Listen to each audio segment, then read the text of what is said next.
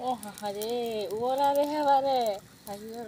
video করা মুঞ্চা দিল ভিডিওটার কথা কয়ে সাইরি এ এ যাই